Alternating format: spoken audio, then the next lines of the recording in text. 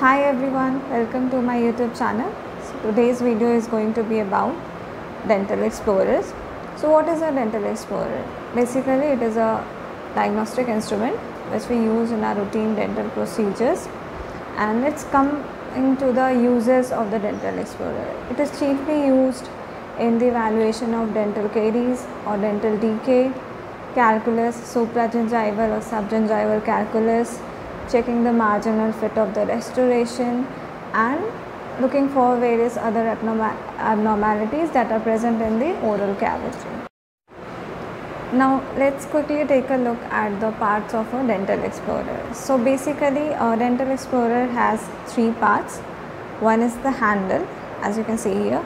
The handle is a straight portion, this portion.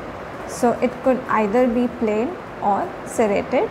As you can see uh, here I have a serrated uh, dental explorer.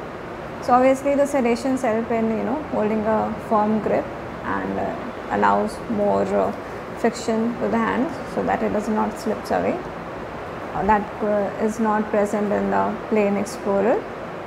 Okay, now the second part is the shank this is the shank it is usually the curved portion okay as you can see here this is the shank okay and here I have one more.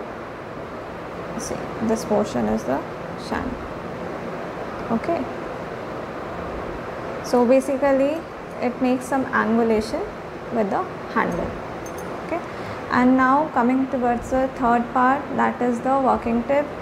The working tip is the sharpest point at the end of the dental explorer. Here you can see this, this is a straight one.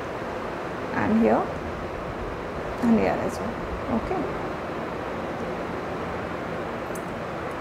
And uh, it could also be of two types. Like as you can see here this is a single ended instrument okay? So in a single ended instrument only one shank is present. The rest uh, the last end is usually blunt. And in a double ended explorer you can see there are two working tips present okay? Here is just one working tip and here you have two working tips. Okay? Now usually there are three types of uh, dental explorers that we use in a common routine dental procedures. So the first one is the straight explorer. The straight explorer has a shank which is perpendicular to the handle of the instrument.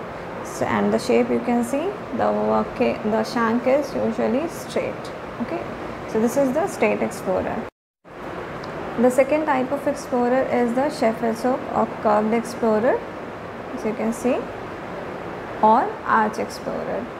It has a curved shank. This is also called a semi-lunar shape and that is why its name is curved explorer. Okay? And uh, the third type is interproximal explorer. You can see the shape here. This is the interproximal explorer. This is also known as Briault explorer or back action probe. Okay. And there is one more uh, explorer which I do not have here.